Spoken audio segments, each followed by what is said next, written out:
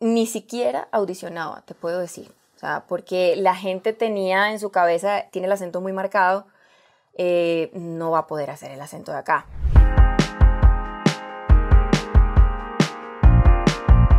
Hola, ¿cómo están?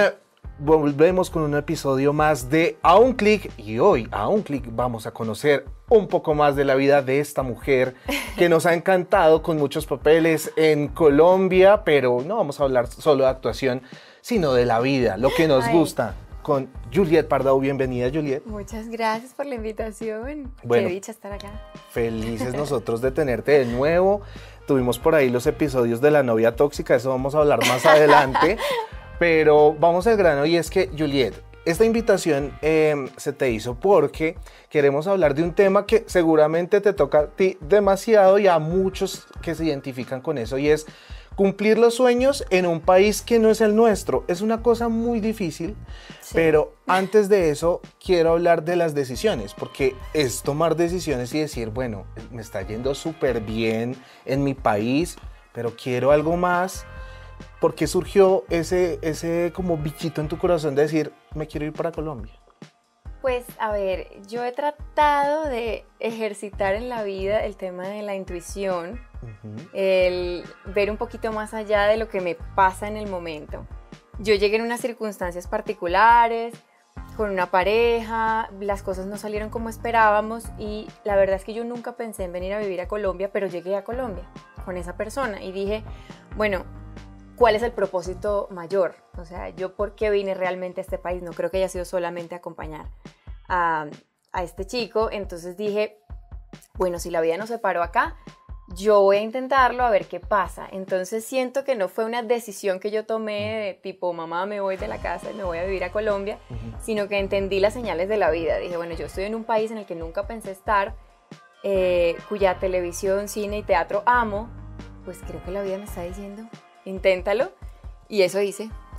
Bueno, pues, una, una, pues no fue una decisión, pero sí fue como un impulso que, que te llevó pues la vida, pero escarbando un poquito en ese pasado tuyo, pues desde muy pequeña has sido como muy histriónica o muy... Eh, te, te, ha encantado todo esto, pero ¿por qué Juliet estudió comunicación social? Tú eres comunicadora, una colega aquí de la central de Venezuela, yo soy de la central de Colombia. Ah, pero ¿cómo, ¿cómo fue ese tema de no estudiar actuación porque entraste a estudiar comunicación? Pues porque había mucha desinformación respecto a formarse como actor, como actriz en mi país. Y era visto un poco como la gente que no quiere hacer nada, como los flojos. Uy, sí. Pero Lo que no saben es que los actores tenemos que estudiar muchísimo, porque uno no sabe cuándo le toca ser de bailarín, de maestro, de, no sé, ¿sabes? De, de tantas profesiones que ejercemos en nuestros personajes y uno tiene que prepararse para ello. Pero bueno, en ese momento el, tema era, Julia, estudia algo serio. Sí, por favor, no, la vaga en la casa, no, por favor. no vaya a pasar hambre, estudie algo que le dé de comer. Y lo cierto es que eso pasa con las pasiones que siempre están ahí, ahí como el, el, el ángel bueno y el malo diciéndote en serio te vas a quedar encerrada, porque eh, dentro de de mi carrera como comunicadora sí llegué a ejercer, tuve programa de radio en una de las cadenas más importantes en Venezuela que se llama Unión Radio. Em, empecé a las 11 de la noche y luego tuve el magazine de la mañana de 6 a 9 en otra emisora que era la competencia, o sea, digamos, empezaba a funcionar todo bien. No había muchas mujeres haciendo humor en radio y era como todo pintaba muy bien, pero a mí había algo que no me hace sentir cómoda, o sea, yo entrevistaba a otras actrices y decía, es que yo quiero estar de ese lado.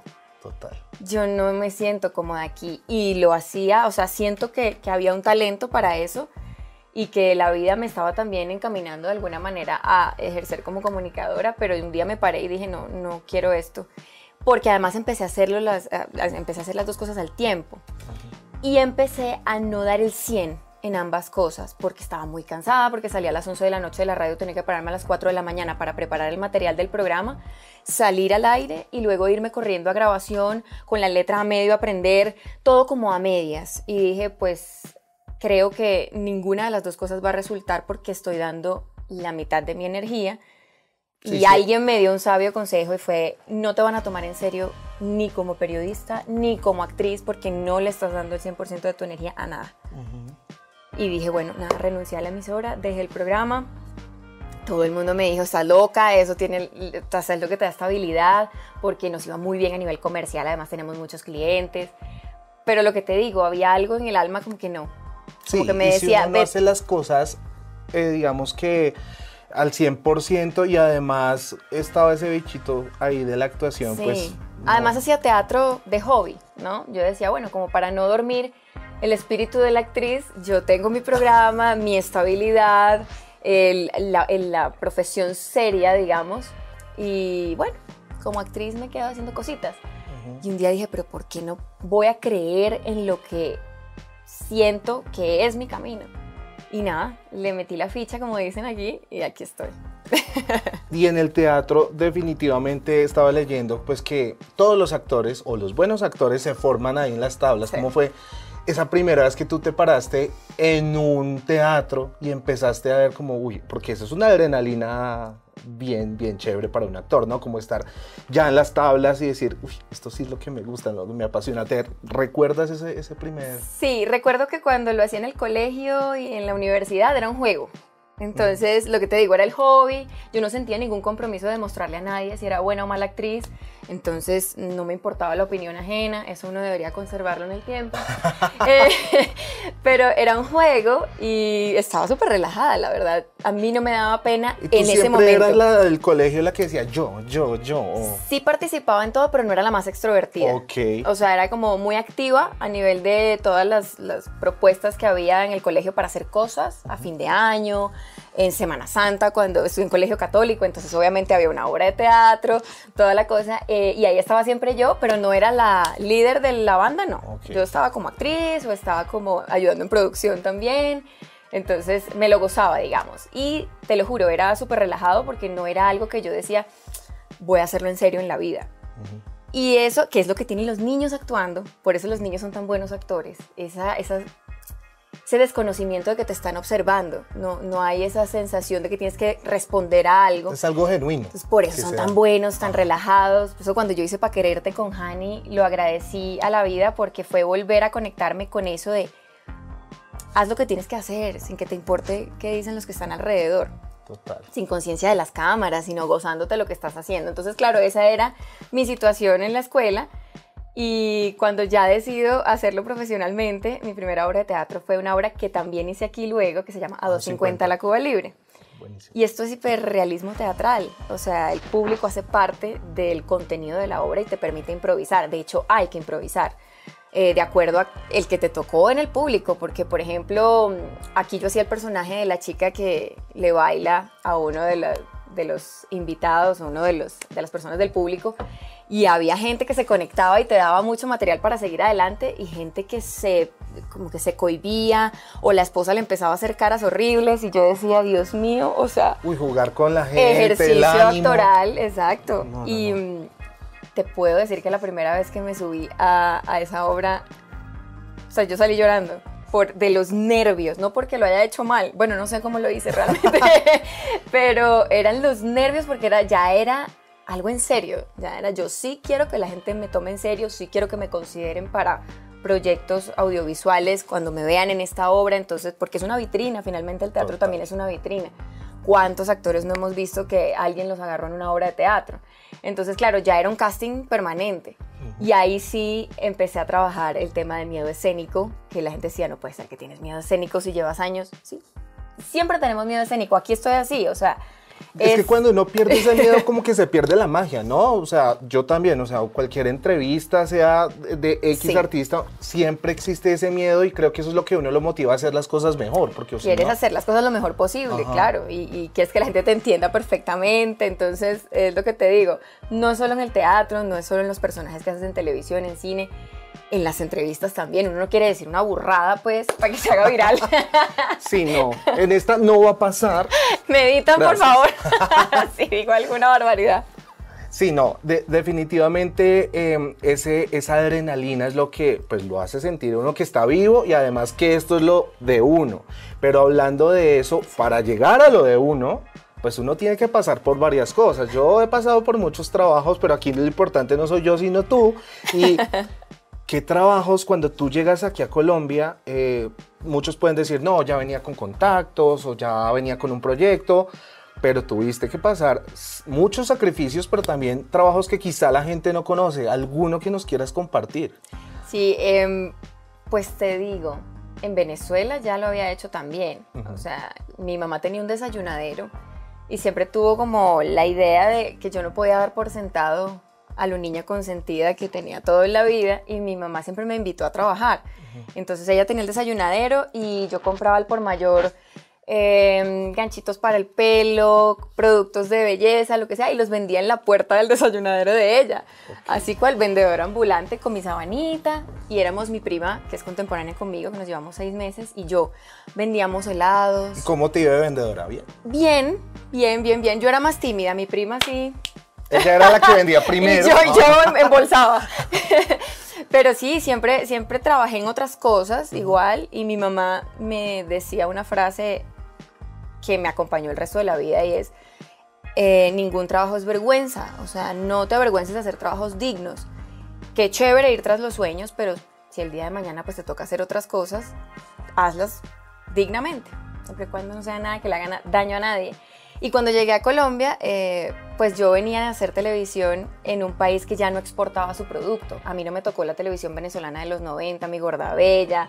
Eh, las todas esas que todos vimos. Exacto ya no pasaba, ya yo tenía también lo que, lo que me ha pasado un poco acá en RCN, yo me quedé en Venevisión, eh, fueron varios proyectos seguidos y, pues la gente ya me relacionaba con ese canal, todo chévere, pero ese producto ya no se vendía afuera. Es decir, se vendía de pronto en Ecuador, en Panamá, pero no en Colombia. Colombia no era un, un comprador del producto venezolano para el momento en que a mí me estaba yendo bien. Entonces, claro, yo no era consciente de eso, me vengo a vivir a Colombia asumiendo que igual aquí está mi hoja de vida, ¿no? y empecé a buscar manager y de partida ya buscando manager yo dije, ¿qué está pasando aquí? o sea, ¿por qué es tan difícil esto? O sea, aquí, he hecho, eh, aquí está mi hoja de vida, aquí están las obras de teatro, aquí está todo. Y era como, llegando por sentado que ya. Sí, yo decía, bueno, ni siquiera audicionaba, te puedo decir. O sea, porque la gente tenía en su cabeza, tiene el acento muy marcado, eh, no va a poder hacer el acento de acá. Y ahí fue cuando yo tomé la decisión de esto que ve la gente hoy, que dice, pero ¿por qué neutralizaste el acento? ¿Por qué dejaste de hablar como antes? Porque yo siento que cuando la gente te conoce hablando de una manera y tú de repente cambias, o sea, viste que yo empiece a hablarte ahora en la entrevista así, sí, que se volvió loca. Como lo que le ha pasado a Shakira, que, que, mucha gente es como... pero es simplemente porque la conocieron hablando barranquillero. Total. Si la hubiesen conocido hablando con acento castizo, pues nadie diría nada. Total yo dije, bueno, aprovecho que, que nadie ha visto ninguna novela mía y, voy a empezar de cero, cero, cero. Y empecé, a, eso, llegaba a los sitios hablando así. Entonces nadie me preguntaba de dónde eres.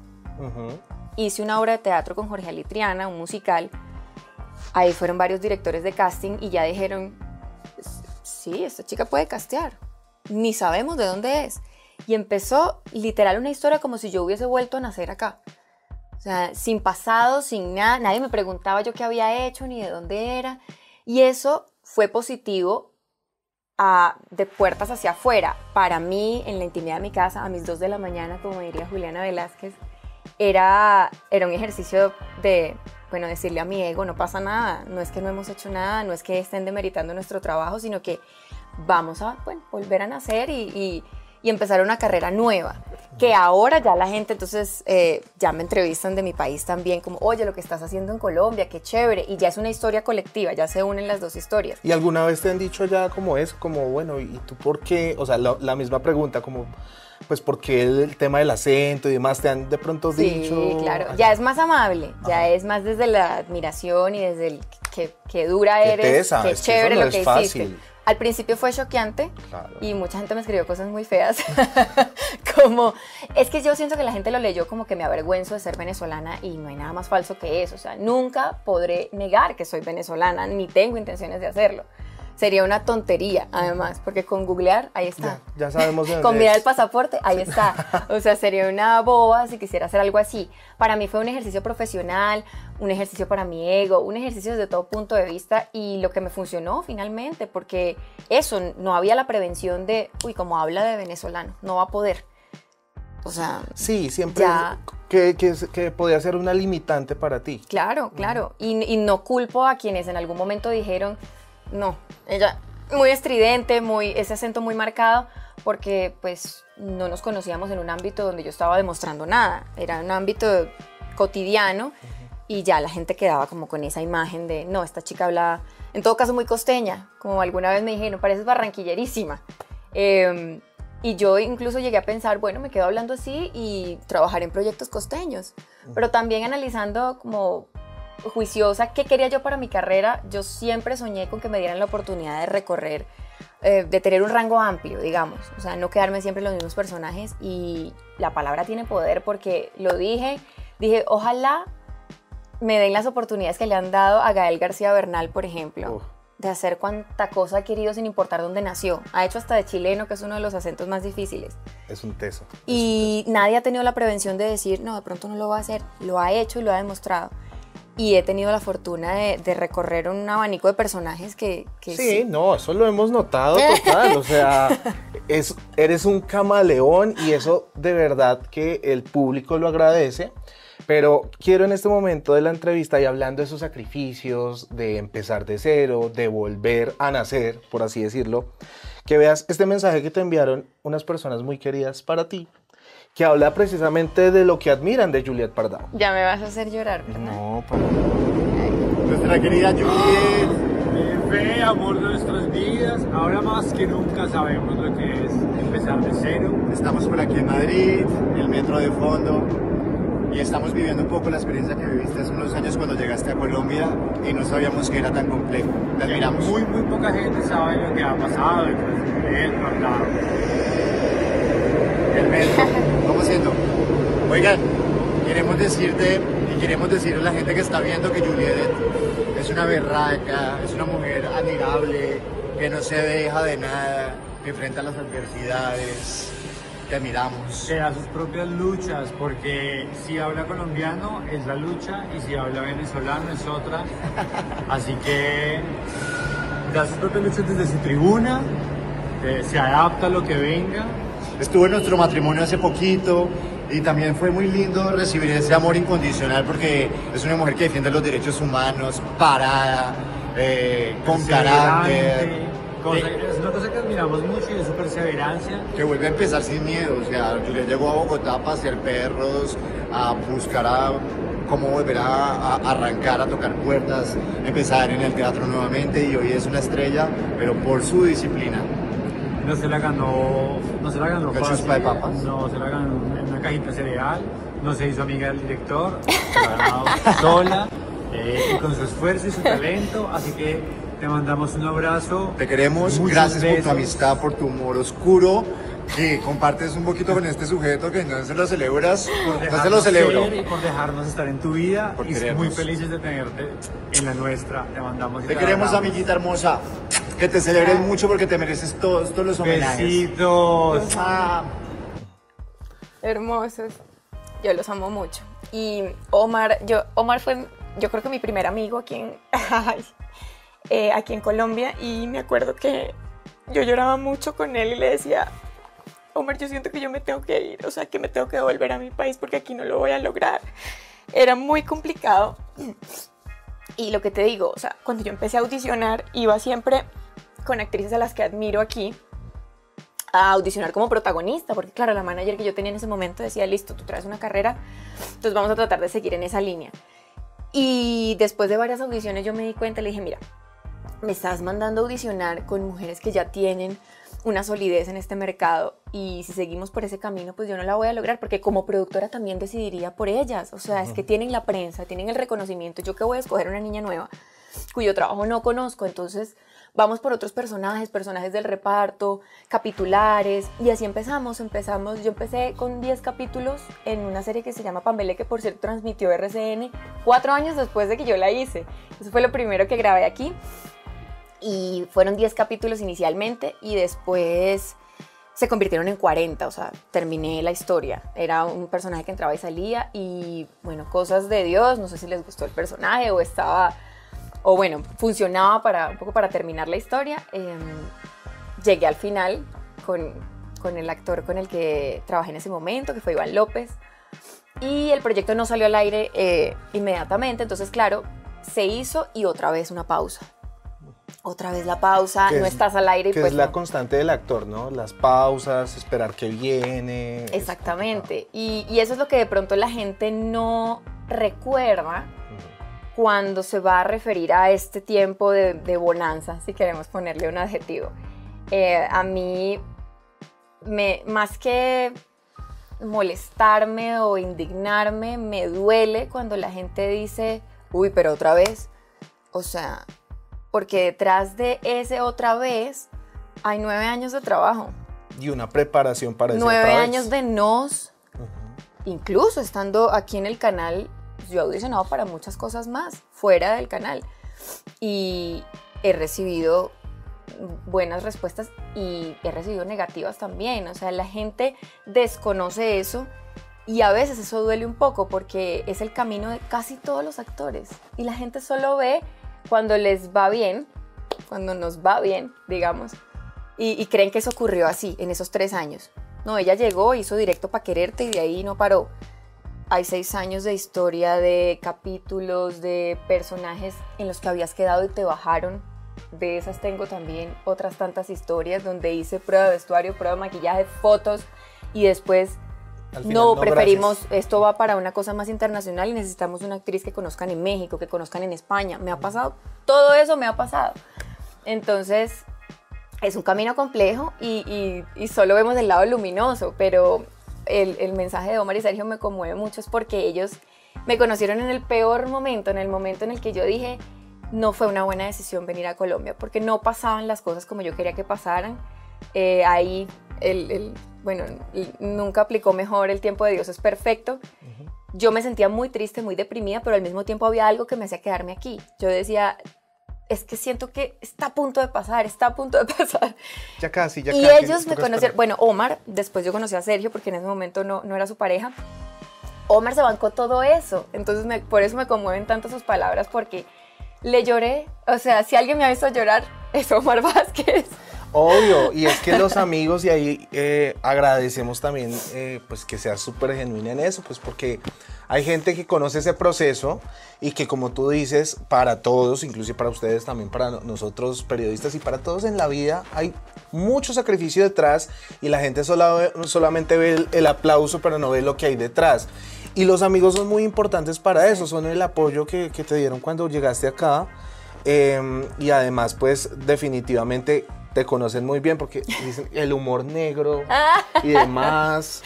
Pero yo creo que, ¿sabes que Soy más de recibir el humor negro. Ajá. Por ejemplo, eh, cuando recién llegué hace ocho años, pues estaba en pleno todo el tema político en Venezuela. Había una escasez tremenda de todo y a mí el chiste que más me repetían era lo del papel higiénico, que no había papel higiénico en Venezuela. Y yo siempre me he reído de esas cosas porque eso no nos define finalmente. O sea, Sí. los venezolanos somos mucho más que eso, mucho más que esas noticias horribles que salen por ahí. Y creo que ahí lleva uno la bandera pegada al pecho. No es un acento. Yo creo que eh, sentirse orgulloso de pertenecer a un lugar es llevar ese lugar en alto con tu trabajo, con tu disciplina, con tu compromiso. Creo que mucha gente que ha trabajado conmigo, que no había trabajado con venezolanos, hoy tiene una mejor imagen de los venezolanos a través de la experiencia que vivió conmigo y eso ya creo que le resta importancia a cómo hablas y si tienes acento mexicano, argentino o de donde estés. Además, Sí, te lo juro, yo llego mañana a Argentina y en tres días estoy hablando así. estoy hablando- ¿Y ¿Qué le pasó a Juliet Pardao? O no era colombiana, no era venezolana, o sea, que se defina de verdad o mentira. No, mira, yo trabajé en México siete meses interpretando un personaje venezolano. Ajá. Y, pero salía con mis compañeras actrices mexicanas y o sea, a los tres minutos estaba yo hablando de verdad, o sea, te lo digo. Obvio, pues Era para un obvio. capítulo de La Rosa de Guadalupe, o sea, A mí me gusta la rosa de Guadalupe. obvio, me, me No chimba burles. conocerte, ¿viste lo que pasó con la... Sí. Ay, no, terrible, un saludo para ella. Mira, es que hacer, o sea, no hacer, porque el, el- el verbo no sería hacer. Incorporar acentos a tu interpretación es de las cosas más difíciles que hay, porque luego te concentras nada más en el acento, que esa es otra que pasa. Cuando yo hice el personaje de la esposa, la segunda esposa del Chapo en la serie del Chapo, Ujú. eh, esta mujer era de Sinaloa, era norteña y tuvimos coach.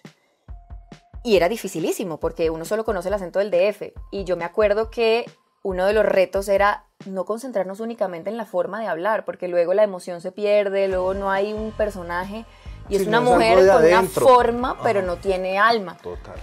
Y la gente cree que es muy sencillo de hacer, que es imitar un acento, y no. Luego toca transmitir emociones. Eso es, es difícil. A mí me dio, me dio como angustia. Es complejo. Eso que le pasó a esa actriz. No, total, es complejo. Pero además, eh, aquí nuestro equipo te decía cuando llegaste, es, es, un poco raro verte, pues como Juliet Pardado, después de haberte visto en una pajarita tan tóxica, con, e, con, e, con, ese, con esa voz, con ese tono. ¿Cómo así?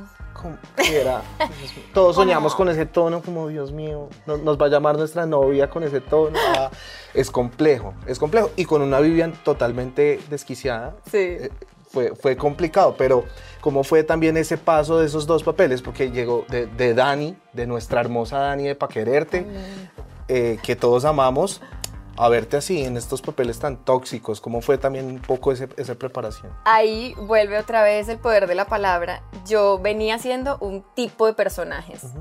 La noble, eh, víctima, a la que le pasó de todo. O sea, si a alguien le pasó de todo fue a Dan. Obvio, y sufre por amor y es abnegada y toda la cosa. Y yo le había pedido a la vida que por mi profesión eh, me permitiera salir de ese casting porque ese casting además tiene un tiene una vida útil, digamos. O sea, llega un momento que se agota mucho el recurso. Y nada, yo estaba soñando un antagonista. Yo hice el teaser de La Nieta Elegida, muchos lo vieron. Por ahí anda un video en YouTube. Sabes que todo se filtra. Todo. Entonces, por ahí está eh, donde yo estaba en el personaje de la nieta. Era, nosotros no habíamos terminado de grabar para quererte. Obviamente, para nadie es un secreto, los teasers son eso, muestras, reels para los clientes, para las plataformas, no son el elenco definitivo porque depende de muchas cosas. Si alguno de los actores luego tiene un compromiso en otro lado donde ya tiene un contrato firmado, pues no es el actor.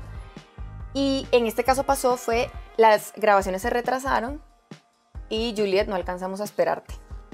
Pero, eh, pues castea para Vivian, que de pronto chévere. Y yo llegué a la casa y dije, es que ojalá me lo den, ojalá sea Vivian, porque sería la gran oportunidad de eso, salir del casting de eh, la chica buena. Sí, de demostrar también que, pues... Cuando ya me dicen que sí, pánico, porque yo decía, ¿qué tal que no me crean ni cinco? Ahora llego yo y no me cree nadie. Y no, hicimos un trabajo de caracterización muy chévere. Y luego tuve unos directores maravillosos ahí acompañándome.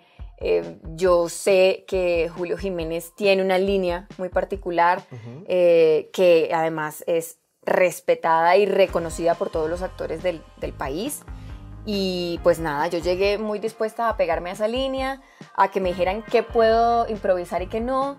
Y ahí tratamos de, de conservar el alma del personaje, por supuesto incorporándole ciertas cosas contemporáneas también. Y fue una experiencia muy divertida. Nos dabas miedo, Juliet. ¿Tú no te das miedo? no, no, no. Pero sí decía, Dios mío, qué gente tan loca hay en el mundo. Total. Porque además Vivians hay cualquier cantidad. si tu amiga eres Vivian. amiga, si eres Vivian, sobre tu vida. bueno, Juliet, pues ya eh, vamos cerrando esta conversación, pero yo sí quiero felicitarte por ese camino. Es un camino que tal vez hoy están conociendo un poquito más de lo que has pasado, em, pero también quisiera cerrar con el tema del amor. Tú eres una persona que ha dejado claro que no abres ese espacio en redes, pues porque no es necesario, porque es que uno no tiene que estar mostrando en redes todo lo que hace o deja de hacer. Pero sin duda, Julián, ha sido un apoyo tuyo aquí en Colombia. Claro. ¿Cómo, ¿Cómo ha sido también vivir todo este camino de la mano de él, que también es actor, que también te entiende los tiempos, que entiende esos momentos muertos en los que estamos casteando y demás, pero es un proyecto de vida juntos. ¿Cómo ha sido también este proceso con él? A mí me gusta mucho pedirle la opinión a Julián, más que sobre mis personajes, sobre el momento de la carrera. Pues porque él empezó de niño, yo no, yo empecé ya mayor de edad, yo empecé a los 19 años. Y, él vivió una parte, esa, esa transición de niño a adulto, donde también hay un tiempo muerto, porque no hay casting para ti, porque en los productos o son muy niños o ya gente adulta que hace personajes de gente grande. Y, y, me gusta pedirle consejos es cuando eso, cuando tengo susto de este personaje por acá, el de la pajarita, por ejemplo, que vino inmediatamente después de Vivian, que tenía una línea igual un poco la celosa, tóxica, entonces puede uno caer en repetirse, aunque el estrato era muy diferente en ambos personajes, igual. Uno como actor hay cosas que le funcionan y sin querer recurres a esas cosas siempre. Entonces, desde ese lugar me gusta pedirle consejos y, y él también tiene un humor muy negro y cuando me ve conflictuada, pues se ríe porque dice, mira lo que, mira a tu alrededor, o sea, te están pasando cosas maravillosas, no te conflictúes por tonterías, es el camino de todos, está bien lo que está pasando.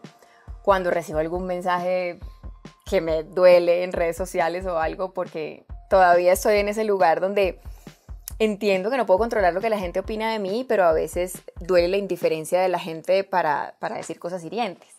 Y él se ríe muchísimo. o qué opinan sobre tu relación y demás. Sobre, mi relación, sabes que no opinan tanto por eso, porque yo no he abierto la puerta. Igual no es un tema, no es desde la antipatía, sino desde el hermetismo de si, si así dicen lo que dicen, imagínate si uno abre puertas y ventanas, entonces también te, te expones ahí a una cantidad de situaciones que no están tan chéveres. Además creo que siempre procuré que me reconocieran en este país por mi trabajo y no por las personas con las que salgo o las parejas que tengo.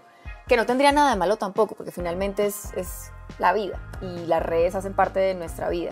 Pero sí creo que, que está más chévere, por lo menos en mi caso, manejarlo así. Eh, a mí me ha, me ha traído muchos buenos resultados.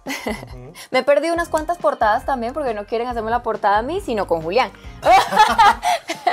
Pero no, nosotros ni eso, mira, ni una portada hemos hecho. Porque creemos que, aunque sea algo muy superficial, abre un espacio, deja, deja como, deja cabida a, la invasión de la intimidad. Y no hay misterios tampoco, nosotros no somos nada polémicos, pero sí, cada uno se ha concentrado en hablar de su carrera más que del tema personal. Igual no, es, es, inevitable lo que te digo. Vas, tomas un café, grabas una historia y está. Ya puedes saber si están juntos o no. pues como Julián seguramente se ha divertido con tus personajes, ya para finalizar, queremos que aprovechando, que reacciones a este personaje tan icónico de Julián. Ay, amo. Sí, el internet.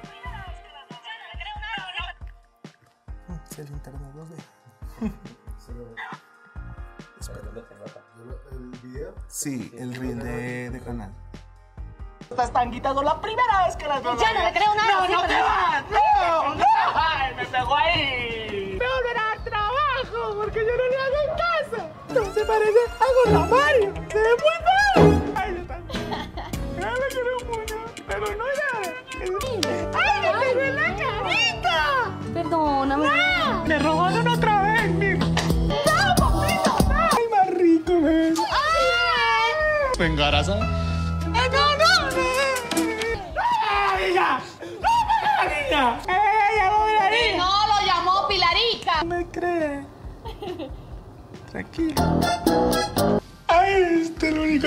que yo siga siendo niño. No, no, niño. ¿Sabes qué quiere? Que yo sea niño y niño. Oye. Me llora más que me pongo- Me imagino que tú te diviertes mucho.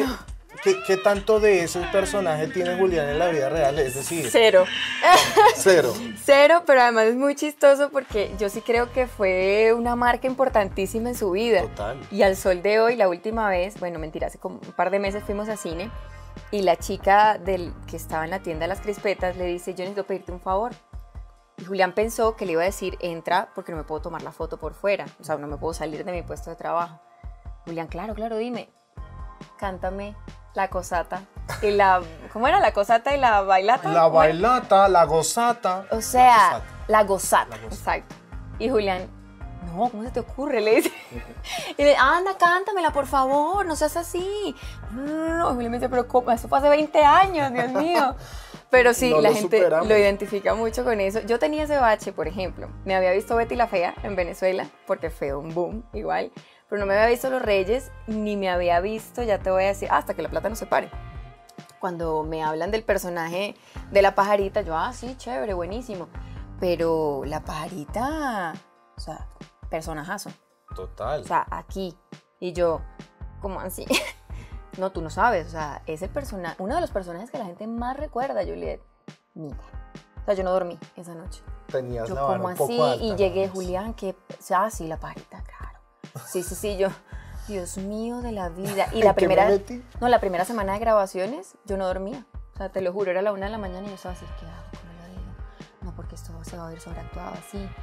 Hasta que llegué y hablé con los directores y les dije, no me vuelvan a decir que la pajarita Sí, no, fue un una- gran personaje. Una presión muy grande. Olvidémonos de esto. Aprovechemos que yo no la vi y arranquemos de cero y así lo hicimos porque yo empecé a angustiarme cuando todo el mundo me decía, no, es que la no, es que la primera pajarita.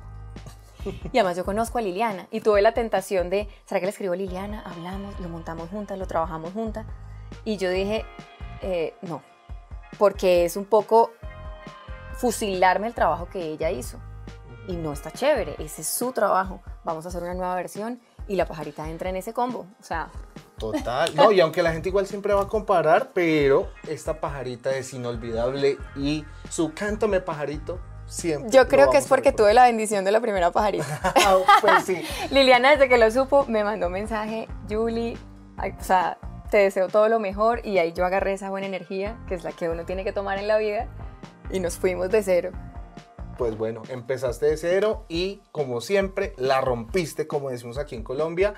Pues Juliet, un placer hablar contigo Gracias. otra vez, estar aquí en A un clic, conocer un poquito más de ti. Gracias por este tiempo, gracias por estos personajes y que, que sigan diciendo, ay, otra vez Juliet, pues sí, otra vez Juliet. Aquí está NRCN en tu casa y te esperamos otra vez aquí en digital, pero por supuesto en la pantalla con muchos más personajes. Muchas gracias por la invitación, gracias a todos ustedes por el recibimiento, por todos los mensajes divinos que también me envían, porque, bueno, uno a veces resalta lo que le duele, pero también es cierto que me he sentido muy bienvenida, que recibo el cariño de todos ustedes. Y ahora que la serie está en Netflix, pues más, no solo de Colombia, sino de otros países, ha llegado un montón de gente, oye, ¿y tú de dónde saliste? Qué chévere.